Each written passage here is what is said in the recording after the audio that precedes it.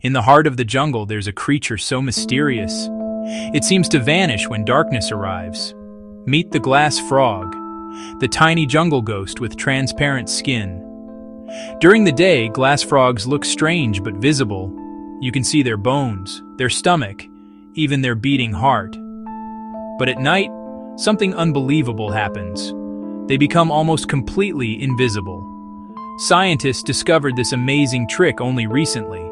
The frog pulls nearly 90% of its red blood cells out of its skin and stores them safely in its liver.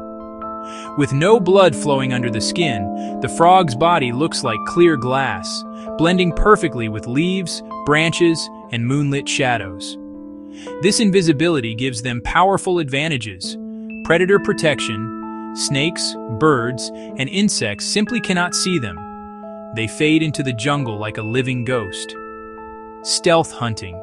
They can wait silently for insects without being noticed. Energy conservation.